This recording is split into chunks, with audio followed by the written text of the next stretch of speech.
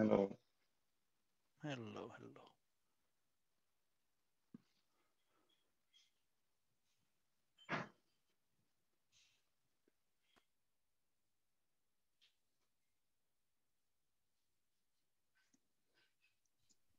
Hello, everyone. Hello. Hello. Hello.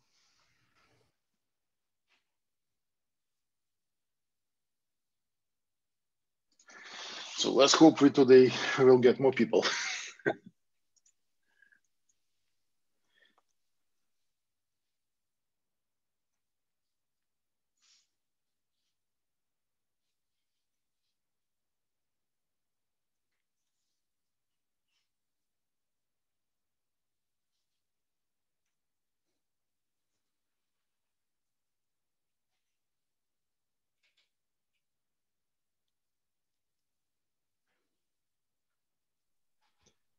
Hello.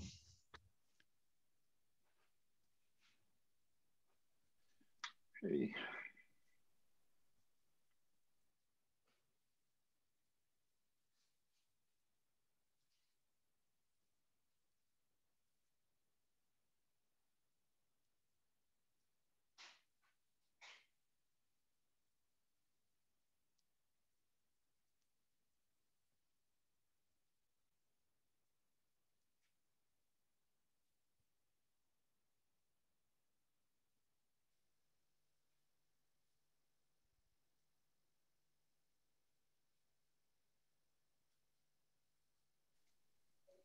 Hey, Zvonko. Long time haven't chatted.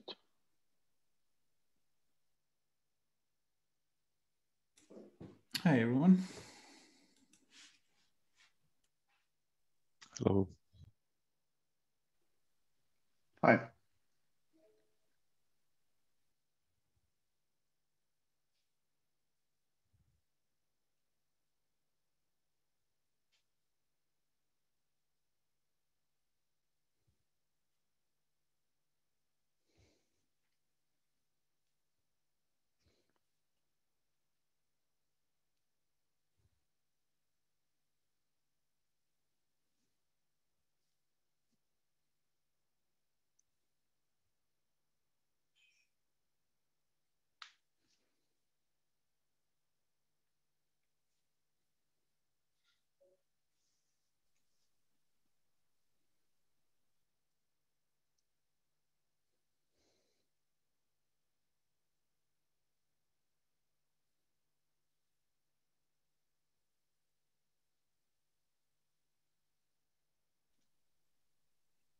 I don't know. Do you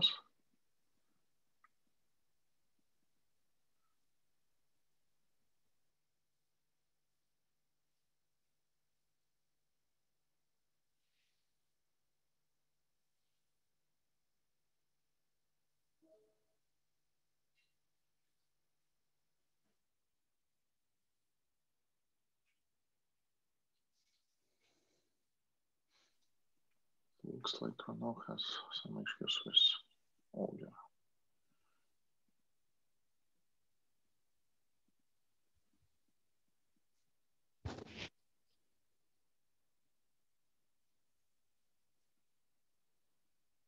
Seems so. I hope he can hear us. Hey, sorry, my internet is acting up a little bit. Hey, good morning. No problem. Good morning, everyone.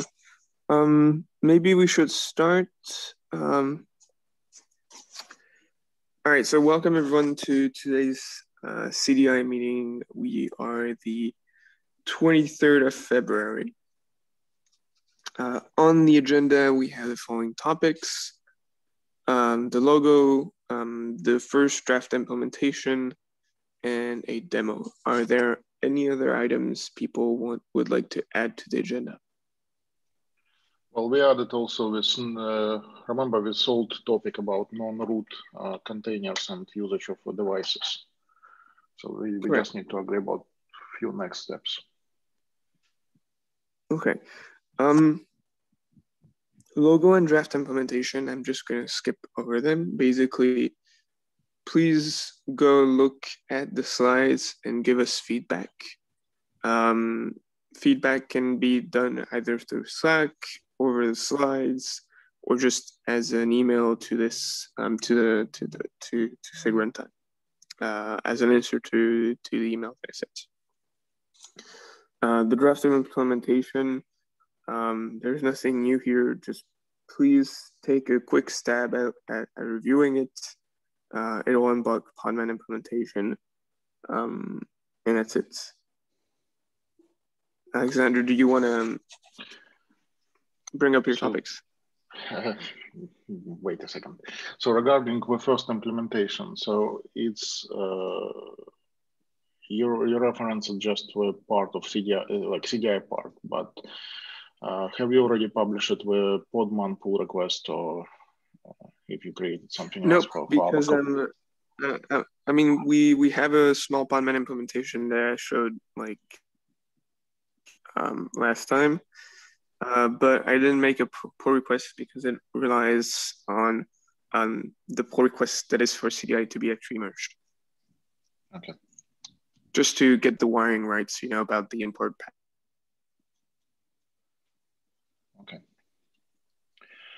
So Bruno, uh, next question regarding the demo. So we have almost the same set of people what we had in past time. Uh, do you know if, uh, let's say, Kevin from your side is going to join? I know what Manal has. Uh, Kevin was. Kevin unfortunately couldn't join, um, and but he'll be able to join next time. Um, and I think um, we uh, needed to can't join the, these meetings anymore. Uh, he has a standing conflict. Uh, so we might I need to reschedule. I spoke with Ronald a couple of days Yeah. ago, and he wanted to rejoin the meetings because it's getting now concrete and the implementations on Podman and CRI-O. So uh, I think next time he will join, but uh, let's see. Sounds good. Um, I mean, is Von that's that's one more person than last time.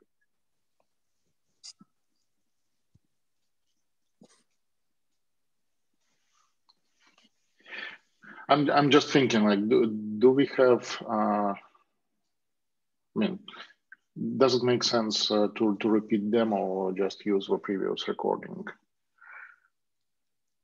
What do you feel? I mean, if if you don't uh, like, it's it's okay to to not redo the demo. We can we can always like point to the recording. I think it's on YouTube. Uh, well, I, I'm I'm just curious uh, how much people are interested to see it because like Urvashi, uh, okay. Well, let, let me ask differently. Like Zvonko and Rodney, uh, you are two new people who previously haven't seen that demo. Uh, do you want to look at it and uh, description about it, or uh, you want to look at it off, offline in a recording? Both both ways for us work fine. Both ways for me work uh, as well. If if we have time, I I would love to see the demo. Okay, Uh, man, man, let's do I it. it needs to be a quorum. So if other people are not interested in it, I can take it offline. Hi, I'm interested on seeing the demo too. Yeah. Okay, well, let's let's do it. All right, so let let me switch share screen. Uh, this one.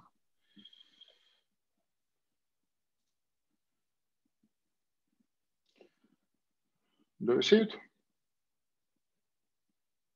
Yes. All right. So uh, how we structure the thing? Uh, I will do some introduction words, just explain the basic idea, what we are trying to achieve, and uh, afterwards we will see two parts of a demo. Like Ed will show how it works for FPGAs, and Ukri is going to show it how it works for uh, GPUs. So first of all, we are talking about how to use the CDI. So right now, uh, the CDI is uh, on the level what uh, how we describe the devices uh, in a form what it can be uh, consume by the runtimes and attach it to the containers. Uh, what we want to show is the step further. So how uh, it potentially can be used in Kubernetes world. So the oops.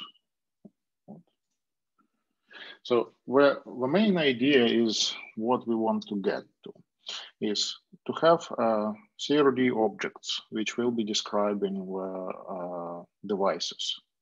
And well, CRD object is something what pod can consume. So uh, using or exposing devices as CRD objects gives us a lot of freedom of how devices are allocated, how devices like life cycle is managed and, and so on. So we have preliminary idea of how it maps to a few objects. And let me walk through from one. So first of all, we have idea of device class.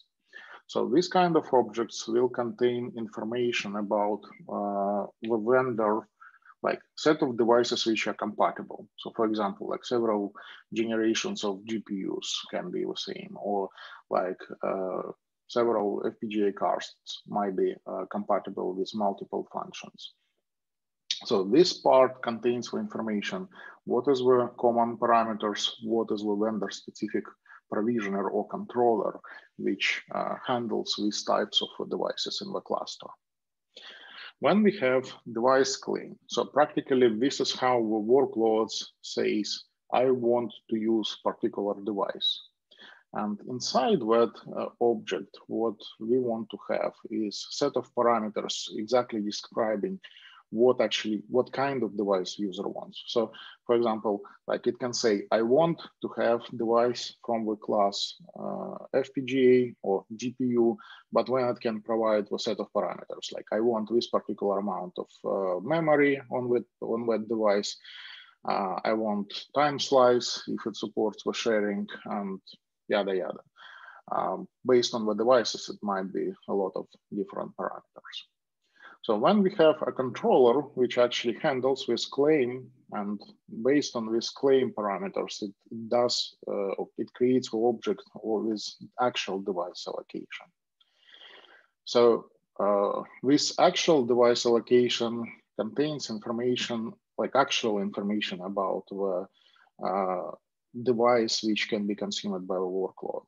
So practically it's a, a part of a JSON file what needs to be created for CDI to be consumed, but as well uh, topological information for uh, Kubernetes, for example, like on which nodes it, it can be available um, if some additional information needed to be exposed for Kubernetes as well. And when this going to be consumed by the pod. So as I mentioned, the, the JSON file, which is created from device allocation, it will be using the standard, uh, well, by our proposed CDI interface uh, as part of uh, one or multiple containers within the pod. So to demonstrate all of this concept, we didn't want to re-implement everything from scratch. What, uh, what we thought is what the current uh, Kubernetes CSI components, we have all the needed components which we can, I would say, misuse to demonstrate this kind of concept. So we are picking back on uh, CSI, like controller and node agents, uh, persistent to demonstrate uh, like simple device allocation and ephemeral storage uh, primitives uh, if we when we want to demonstrate like a bit more complex like deployments with multiple pods where you have it like template and uh, every pod is actually allocating uh, similar kind of devices for, for workloads. So on what step I'll hand over it to Ed who can show actual actual thing. Hi everyone, I'm Ed Bartosh uh, and I'm going to to continue with the demo, but before the demo, I would like to, uh, let me share my screen. I would like to show kind of um, allocation workflow diagram. So it, uh, let's start from the CDI components. So the, the CDI uh, actually uh, contains uh, two main components, the controller and node agent. controller uh, usually runs on master and node agents, they are uh, responsible for collecting device information. So they, they need to access the devices and so they, they are running on the nodes.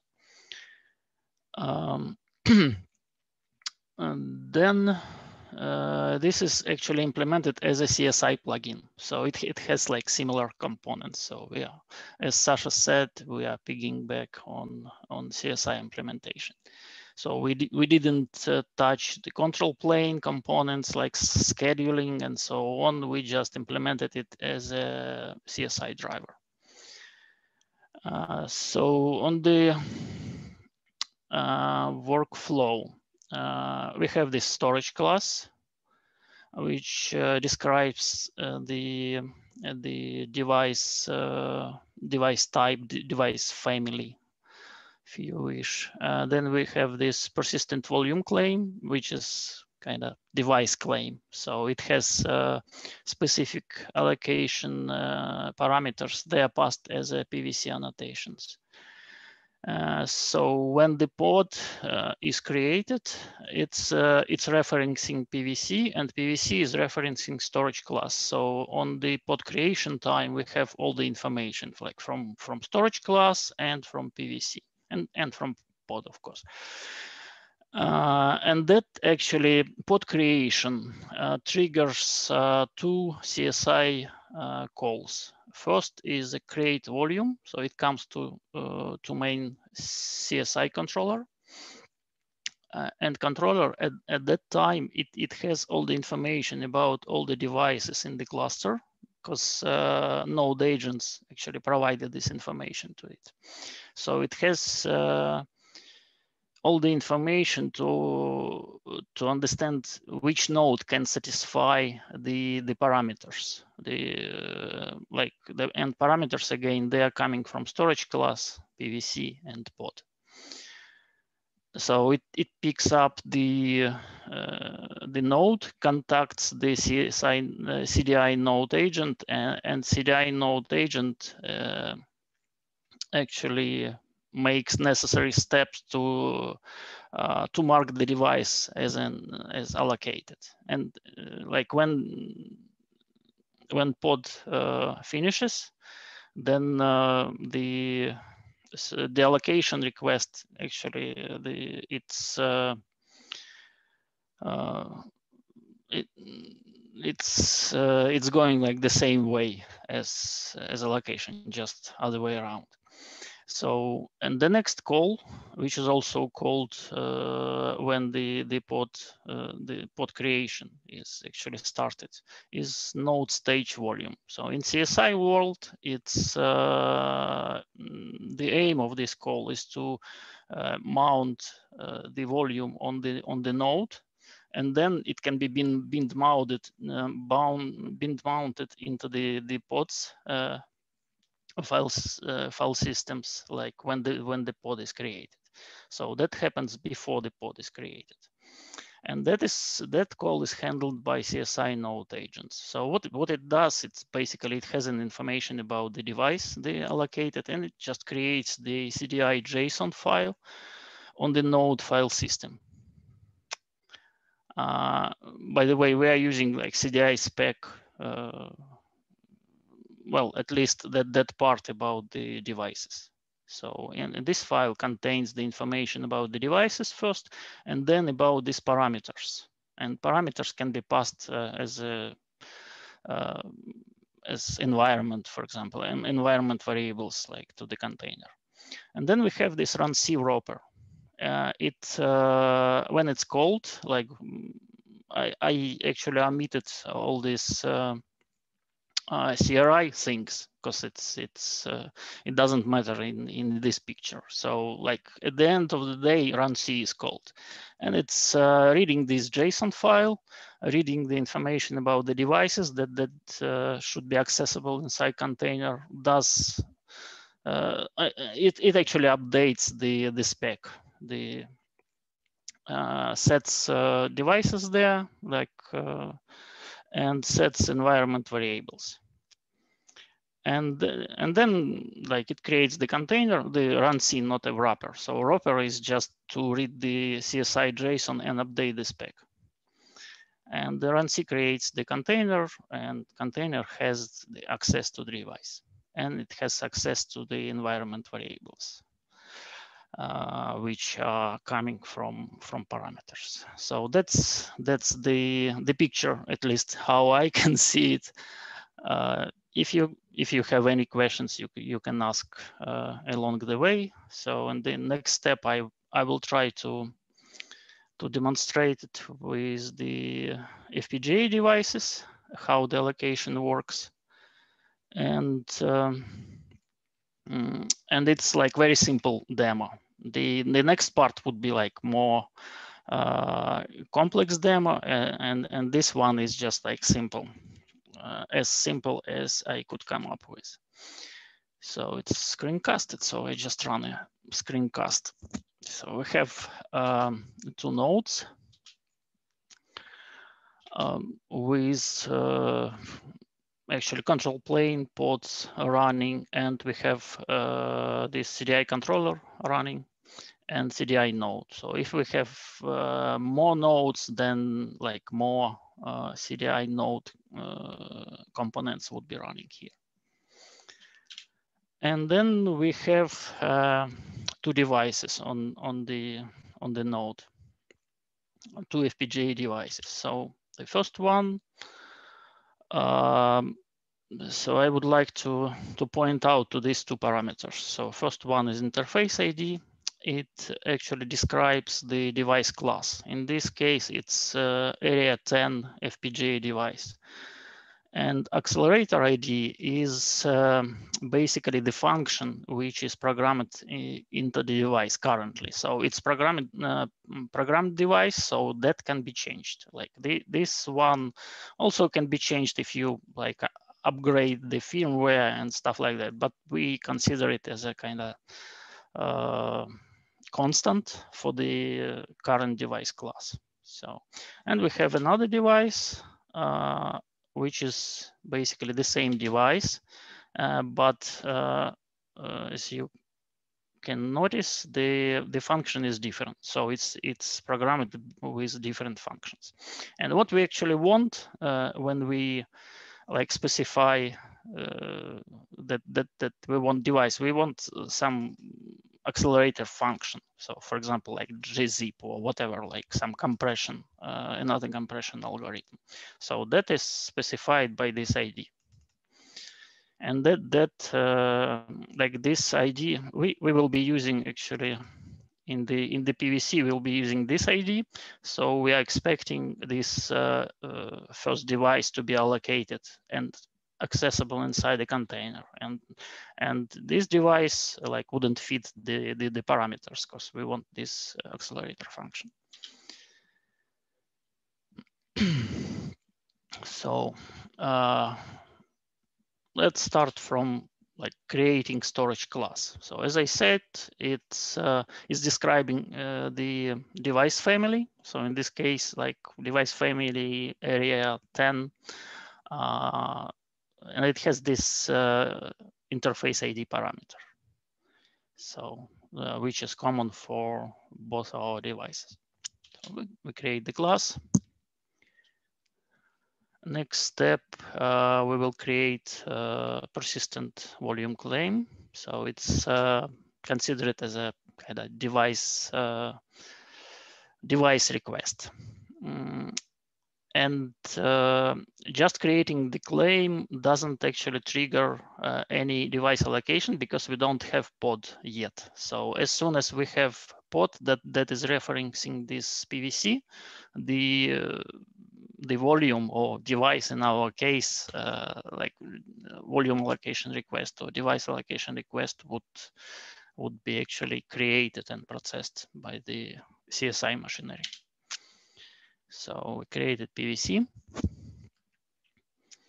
And uh, next step, we will create a pod. So let's look at the pod, how it's referencing. So as, as we are using CSI, uh, we have to use like this mount pass and uh, volumes uh, thing. And the, uh, the way how it's referencing uh, the PVC is through this persistent volume claim parameter. We create a pod. Then everything goes as I tried to describe on the picture. And then we, we can just check if the device, uh, the first device, like which ends to zero, uh, is accessible inside the container. It is. So that's that's practically the demo. So again, we had, uh, let me switch back to this. So we had uh, one parameters uh, passed from storage class parameters, and we had another parameters, the, the function ID passed as an annotation, like through these calls. And in the end, uh, we had this device accessible inside this container. So that's that's it. And uh, next demo is will be uh, showed by by Ukri. Thanks. Um, and just small comment. So yeah. just because we are using the CSI for, for this demonstration, like some of the parameters are passed as annotations, but end goal is to use like the proper CRDs so we can have a uh, custom fields what vendors can specify based on their uh, device requests or device needs.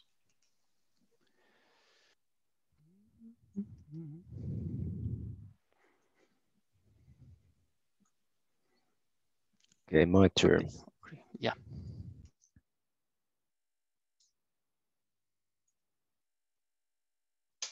Uh, I hope you can see it. Um, so this is the same thing that I presented uh, a couple of weeks ago.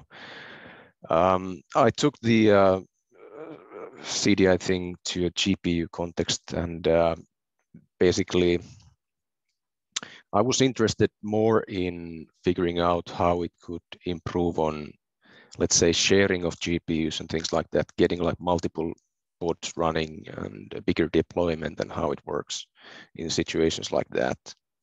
So uh, instead of trying to exactly match a, a device like Ed showed, um, I uh, created resources for the GPU, uh, like memory and millicores, uh, which uh, which could be consumed by pods sort of dynamically until they run out, and see if I could do this uh, in addition to this sort of exact matching of allocations.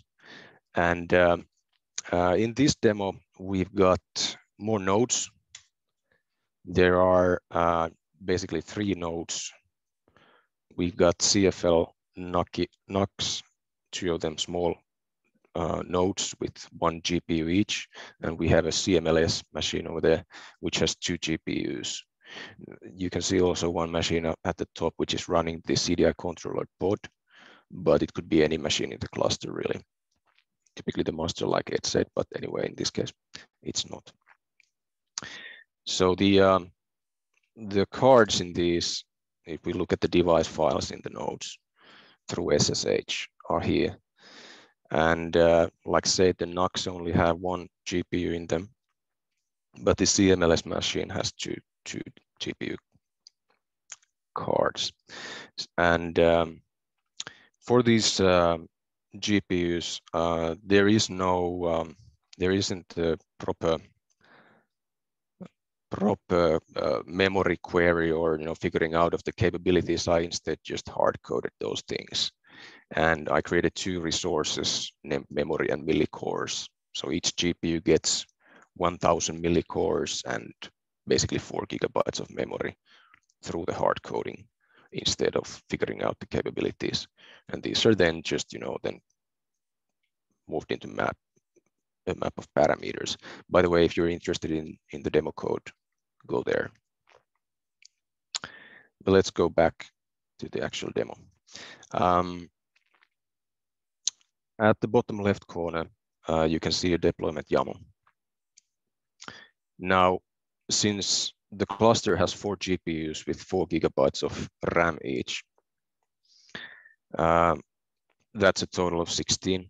And uh, uh, we've got a deployment here with 10 replicas, each trying to get 1.5 gigs. So that's 15 in total, which you know from a number point of view it should fit. But if you look at the GPUs having four gigabytes each, uh, you could basically only fit two pods for each GPU. And that means that for GPUs uh, equals eight pods that should get up running. Uh, the millicore amount here, since each GPU has 1000, shouldn't be a limiting factor as much as the memory. And uh, we're using ephemeral uh, volumes here uh, just because if we didn't, we wouldn't be getting individual volumes created for each pod. This is a uh, little drawback of using the CSI.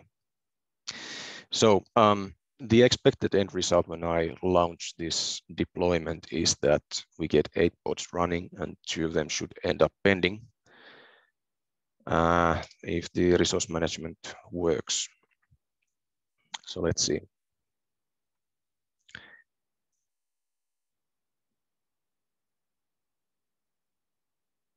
And it seems that it is still working.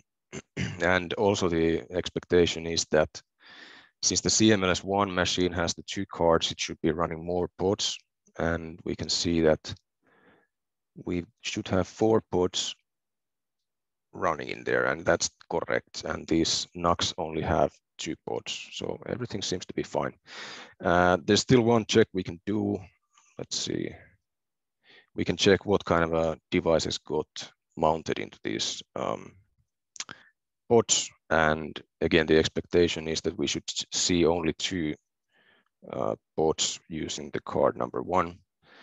Uh, so we have J4LHQ, uh, which is over here. And it should be the two card machine, and it is.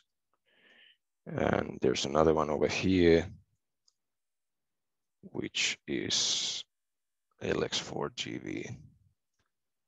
So that should also be CMLS, and that's correct. So it kind of works as long as you don't try to allocate more than one GPU. That's basically the place where we have a little bit of issues using the storage because if you try to allocate two, they don't get allocated and considered at the same time and that creates issues then. Um, now, if I would try to add an, another deployment there, should end up pending.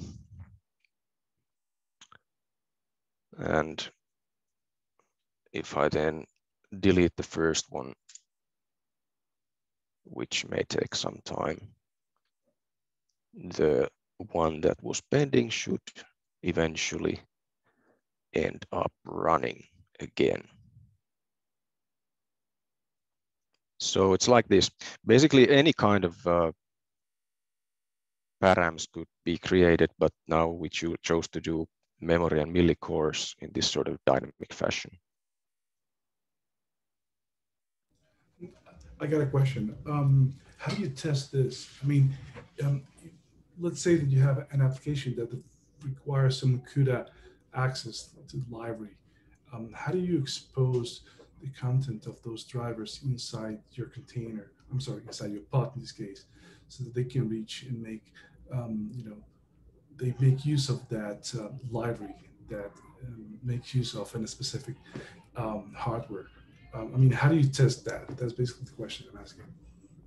Well, I would like to direct any CUDA related questions towards NVIDIA really. if Renaud can fill in how they do it, but we try to, in Intel, we try to do our stuff in upstream and, and, and basically.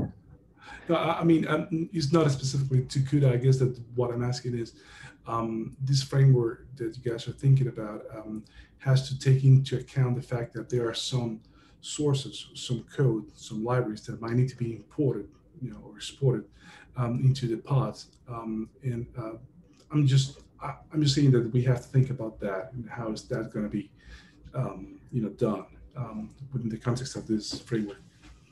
Let, let me answer that.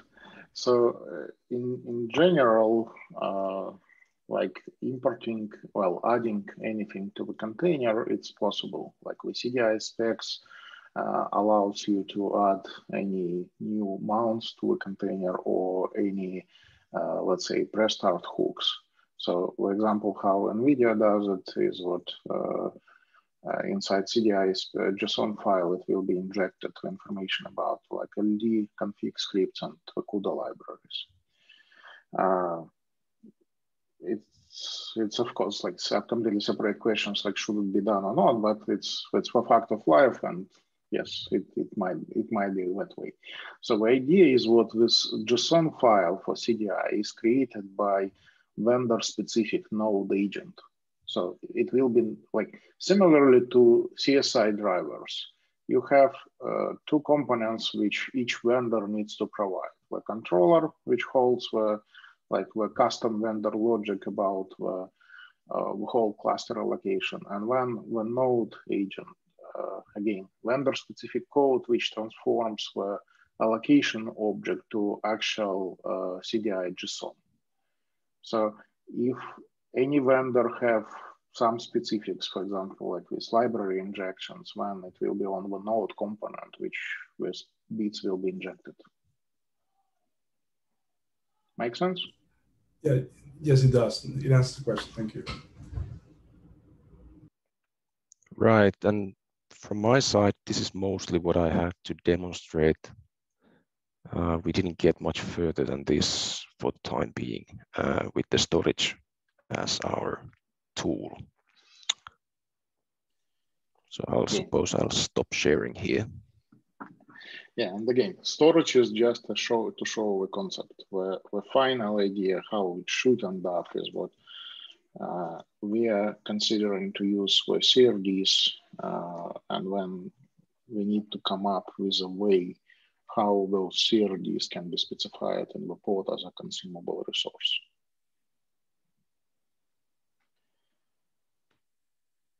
So on that note, I will stop. Awesome. Thank you very much for the demo.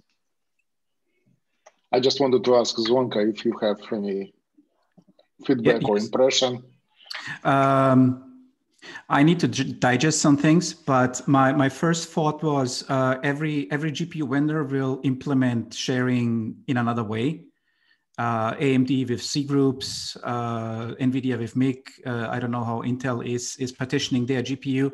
So in the in the last screenshot, you, you, you are requesting resources via millicores and memory.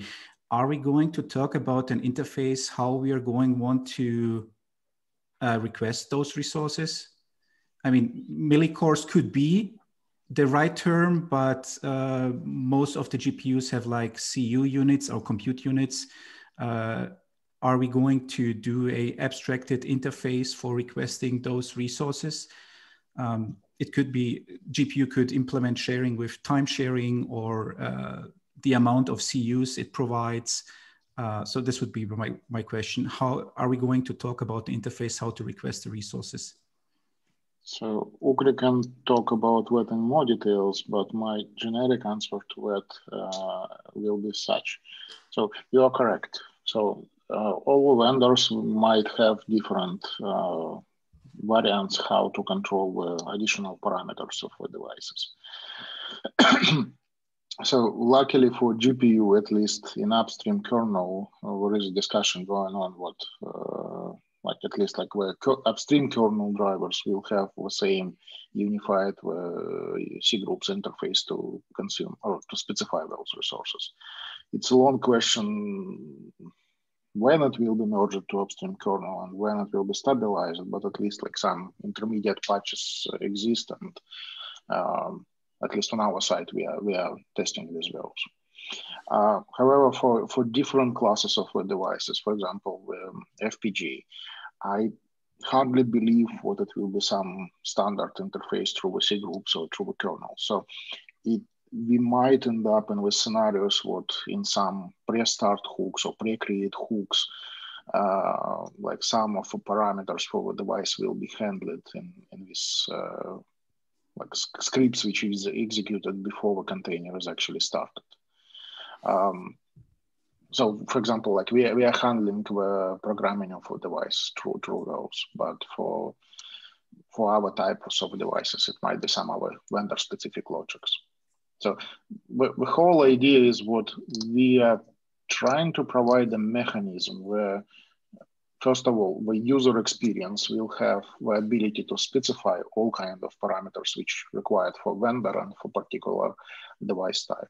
And when we have a whole pipeline to deliver those uh, parameters down to a point where it can be actually consumed and put into, into use, for example, like through kernel drivers or through any other mechanisms because practically think about it.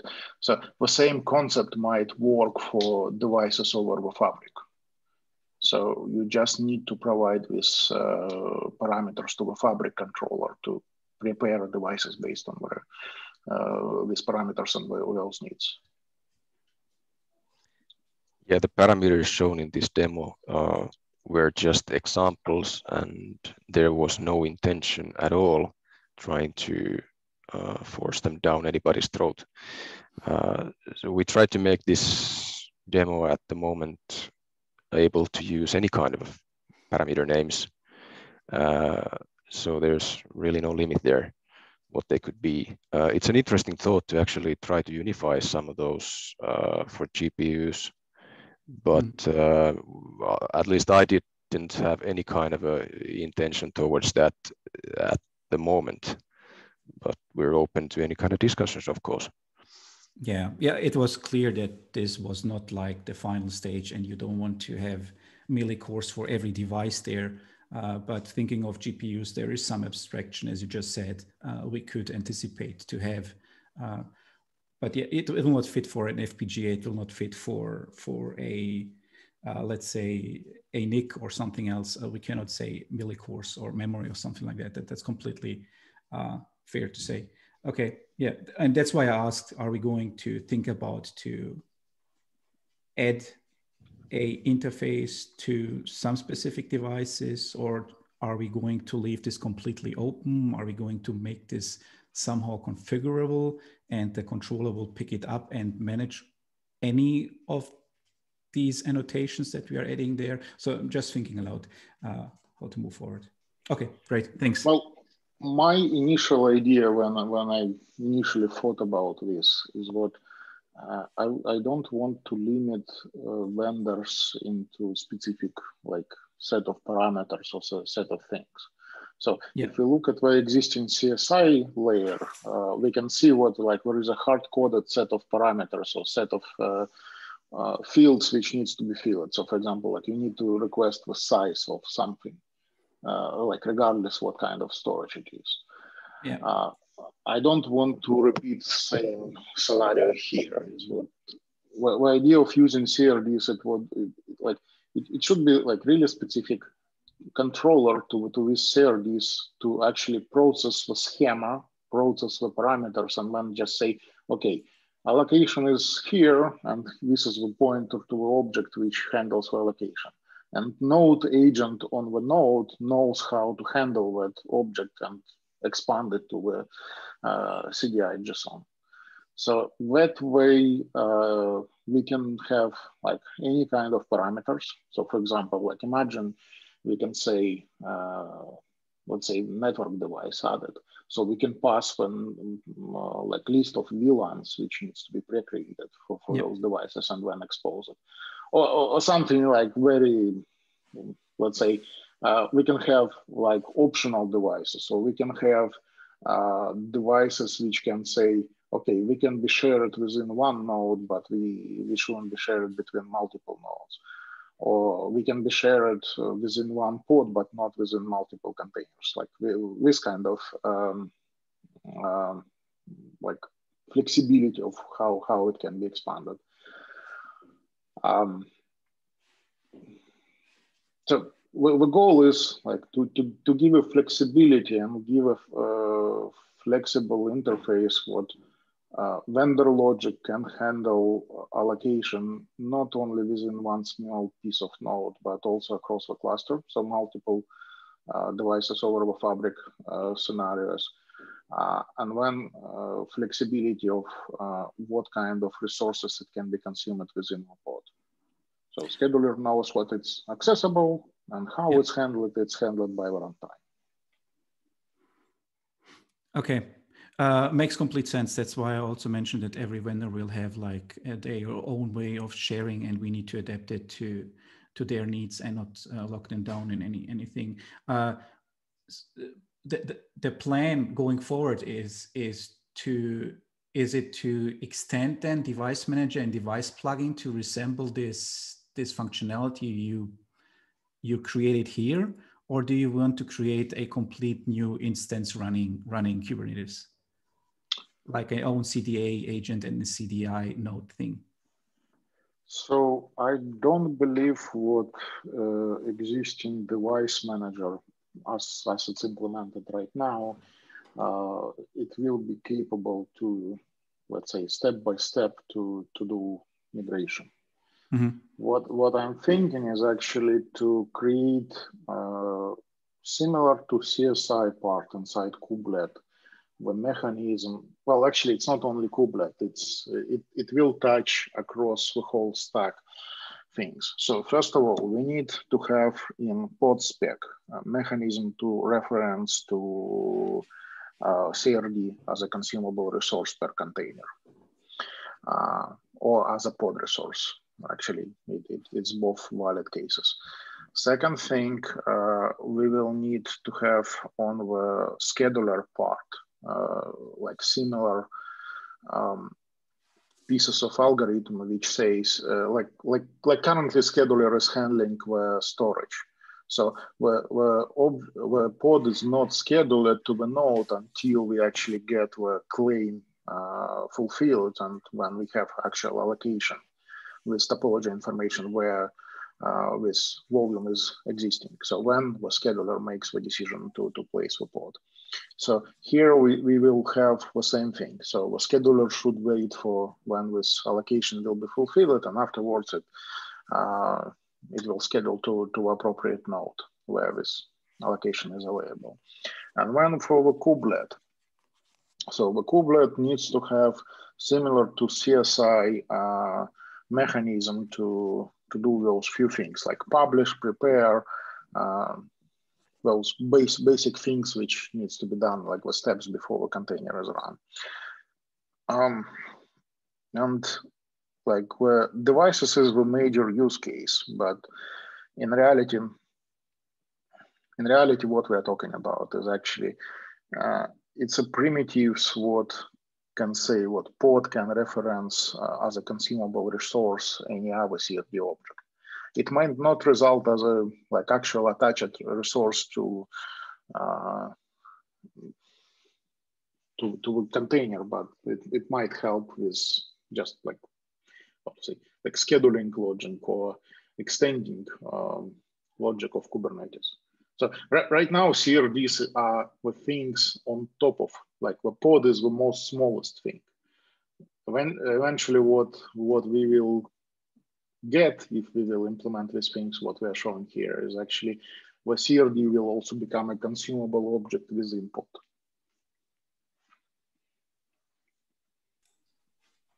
Okay, thanks. I, I don't know, Zvonko, how, how do you feel? Is it good idea bad idea? Uh, as I said, I need to digest everything, but but looking at the concept, it looks good to me for now. Uh, need to think about more, and yeah, and as you said, there's definitely the connection to the scheduling uh, topology hints, device manager, uh, device plugins, topology manager, CPU manager, all those connections to be made as well. Uh, so, well, uh, just to nitpick on, on, on this thing. So uh, right now we have a big problem with topology manager, CPU manager, and device manager is what uh, they do a decision and what's yeah. those decisions are not uh, based on the like how how big problem of migrating of workloads between the comp uh, components. So for example like making a decision for device is heavy thing. Like you cannot like if, if you have a device you cannot move it. It's physically attached. Yeah. but some things like some resources like cpu cores it's easy like it's almost instant migration. Memory, it's a bit more complex. You, you require to move for memory and it's more expensive thing. So, uh, and with all this mechanism, we have a problem what, for example, like existing storage layer, it completely not visible to topology manager. So you might end up mm. what you, you have like yes your uh, your pod is consuming the device and it's efficient but when you have a storage which is completely connected to different pci bus and you are this one workload stressing the whole system. So um, there are several ways how to do it differently. Uh, i don't want to be uh, well i don't want to include it in this particular discussion but uh, if we want to have really efficient and resource management, we need to consider also how the storage is handled and when, you know, how this resources allocated all across the node. So you are involved also in the topology aware scheduling thing. So I suppose you have this CDI use case in mind going forward with all the uh, KEPs and and uh, that we have for topology aware scheduling, right?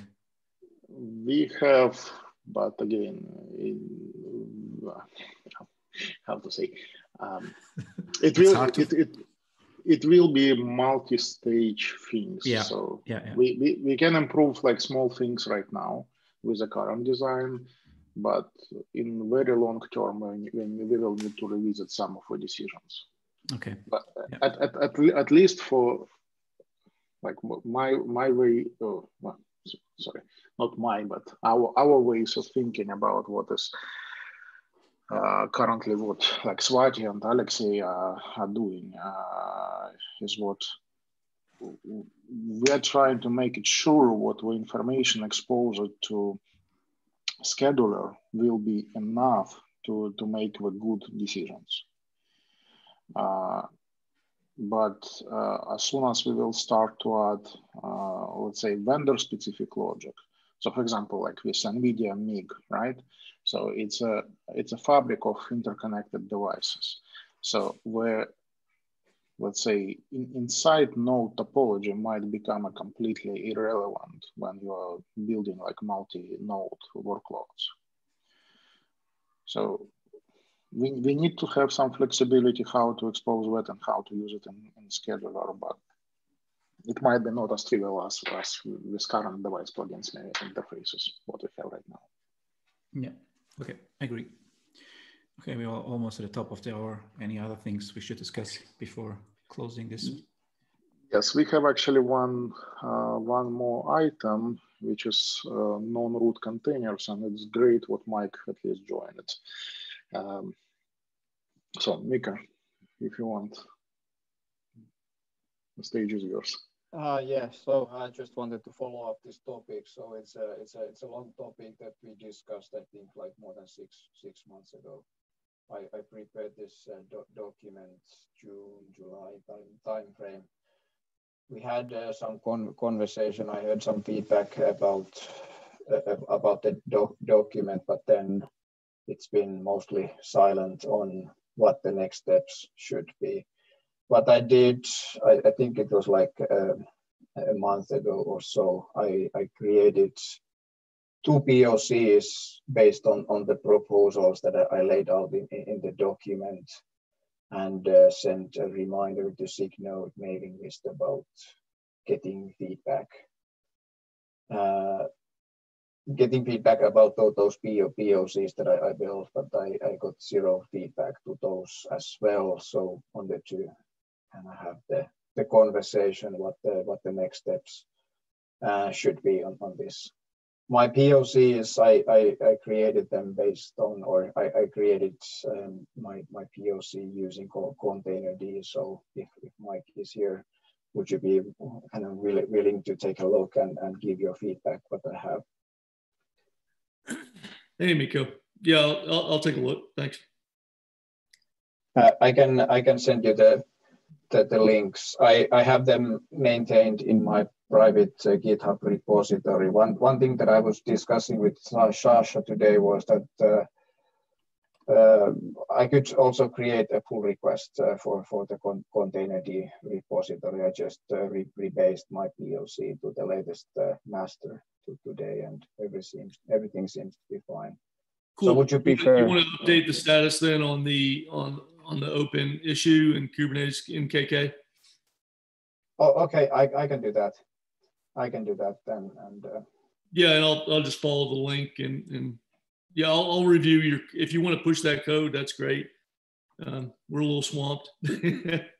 Which way? So I, I can I can create a pull request to containerd repository as well. But right now it, I, I I have the, the code living in my private fork, and I have the okay. I have. I actually suggest let's create also a pull request to CRI-O.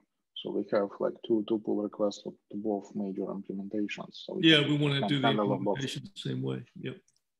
So, okay, so I can I can certainly do that, but um, let, let me share kind of the update to this uh, KK issue with, with the latest code I have, and I can also uh, submit it as a, as a pull request to, to, to containerd, containerd repository, and then do the kind of the same for for CRI-O as well.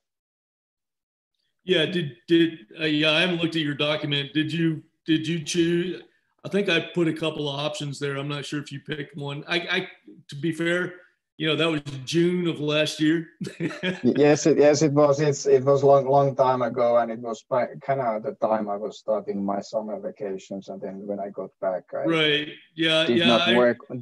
I've got va- a vague memory of reading through it and making some suggestions, but I, I don't remember the details. So I'll have to refresh my memory and then uh, and then get back to you. Okay. But yeah, if you'll if you'll put something in there that updates it a little bit, just a reminder, and then I've got it on my screen, of course. But yeah, it, and yeah, we could definitely use the help on PRs here. I mean, oh, okay. But so we can we, we can now kind of keep the con conversation go, going, and um, I, I'm I'm at least committed to kind of getting this closed, kind of wanting to to have the problem sorted sorted out. So it's. Uh, hey guys, it sounds, it sounds like you did it both ways. I yeah, my I have two I have two POCs. Both both ways are Im, implemented. Our preference is the kind of the opt-out model and the original idea that we would use the uh, run as user, run as group as as the uh, user ID and uh, group ID right. the device node. Yeah, I hate to have to do it on over annotations, but I think that's the only way to get it through cleanly right now until we've moved CRI-O, I'm sorry, CRI to you know to past beta, and we'll and when we get to a point one, we'll be able to update the uh, security context fields. But uh, Mike, we, we don't need to update the security context fields for, for this particular change. Right, that, that's correct. That's why I was saying we can just do it as an annotation. Yeah, And uh, well, Mikko said what we have two implementation and we experimented with both and uh, I think mm. just they both work. Yeah, you just gotta pick one. All right. Yeah, well, both works. Uh, we just want to like VPR. What Mikko is going to create, it will just include the one which uh, we think more user friendly and uh, device plugin developer more friendly. Yeah, that's that's fair. I didn't I didn't really care which direction it was. If you guys want to pick, go ahead. Yeah. Okay, sounds, sounds good. But I, will I'll, I'll post the update to the issue and uh, there was uh, somebody asking the document. So yeah, it is available as, as the Google Doc link in, in the, the KK issue. So cool. Thank, thanks, Mikko. Thanks for taking taking uh, taking the lead on this. Thanks, Mike. Thanks for the feedback. All right, so we are top of hour. Thank you everyone for joining today. Thank you for listening for and watching our demos and asking the questions. Let's continue over the mails and let's chat in two weeks. See you, Alex. Cheers. Thanks. Take Bye. care. Thanks. Bye-bye.